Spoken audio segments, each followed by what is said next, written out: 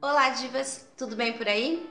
Eu tô aqui no canal da Leila para falar um pouquinho sobre os livros que eu gosto de ler, os livros que eu tenho e eu não desfaço deles, porque vez ou outra eu tô lá folheando eles. A Leila já me fez esse convite tem um tempinho e só agora eu consegui gravar para ela. Então, amiga, muito obrigada pelo convite. Beijo. E agora eu vou falar para vocês um pouquinho de livros que eu gosto. Talvez os livros que eu gosto não sejam como a maioria. É... Eu gosto muito de livros de autoajuda. Eu já fui uma devoradora de livros, de ler três, quatro livros por mês. Porém, depois de tanta rede social, tanta coisa, eu confesso que eu só pego meus livros para dar uma folhadinha, ou quando eu tenho alguma dúvida, ou eu quero alguma ideia, então eu corro para os livros. Mas no geral, hoje eu leio muito na internet. Mas vamos lá para o vídeo não ficar muito longo, né? Eu quero falar de um livro que eu li, que eu tenho certeza que todo mundo leu, mas foi um livro que me deixou muito, muito brava quando eu li. Foi o Dom Casmurro. Eu tomei todas as dores da Capitu. Fiquei indignada com o personagem. E o que eu fiz? Na época eu pensei, gente, alguém tinha que fazer um livro para uma vingança, alguma coisa, alguém tinha que esclarecer o lado da Capitu. Depois de muito tempo, eu estava na livraria, porque naquela época que eu devorava livros, e eu encontrei esse livro que é de Domício Proença Filho, que é Capitu Memórias Póstumas. Ele é um livro como se fosse uma versão da Capitu contando. Então ele é tipo como se fosse eu, aqui fala uma coisa, esse aqui vem falando. Ele não, na realidade ele não fala, ah, Capitu não fez isso. Ou não, mas ele faz tipo uma defesa, sabe?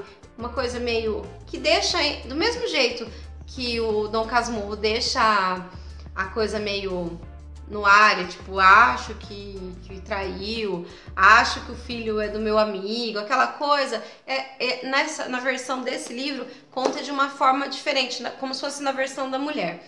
Então esse livro é muito legal. Eu tenho esse livro há anos e vira e mexe, mas eu falo o seguinte: lê Dom Casmurro, lê esse aqui é como se fosse um, um, complemento. Porque a gente esquece, a gente leu ele normalmente no colegial, né?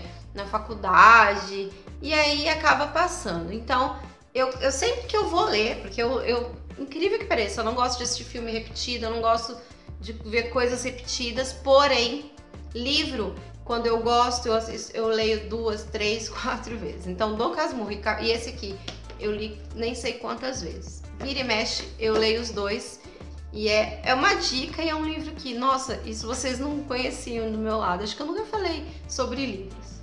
Uma outra coisa que, isso com certeza, quem sabe do meu blog, sabe da minha paixão por livros de dieta.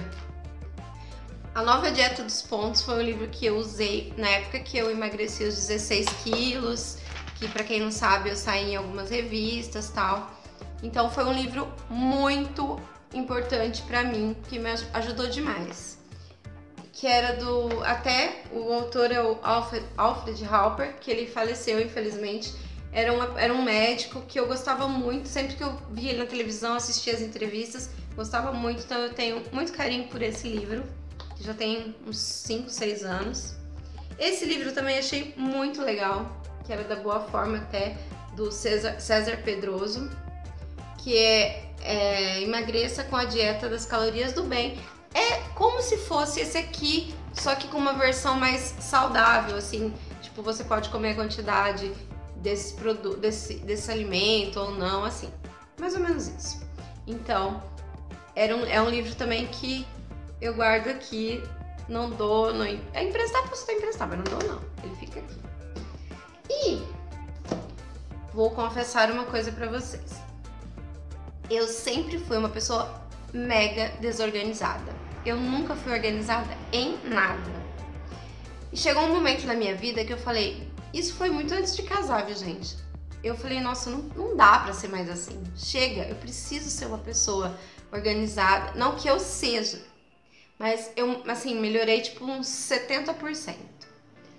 Então, o primeiro livro que eu comprei foi esse aqui. Na realidade, acho que eu ganhei ele.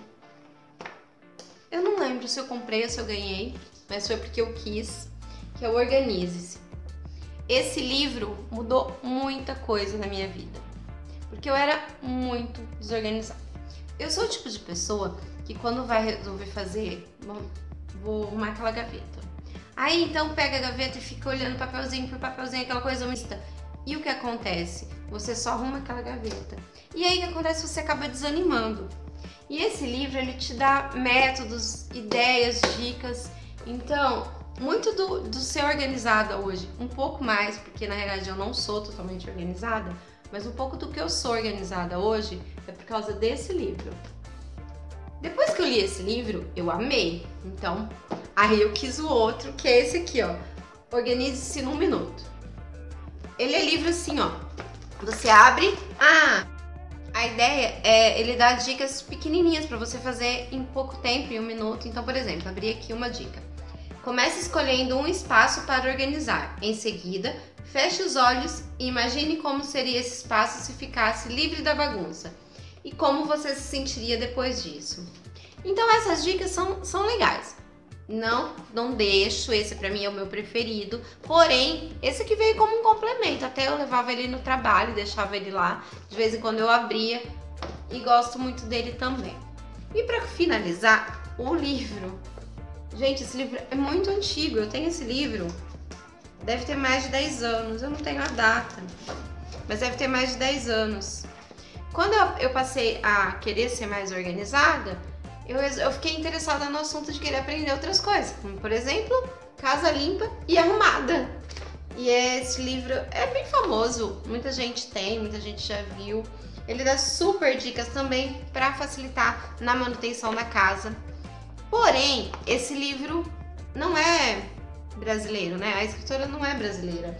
Então tem muitas coisas que não, não condiz com a nossa realidade.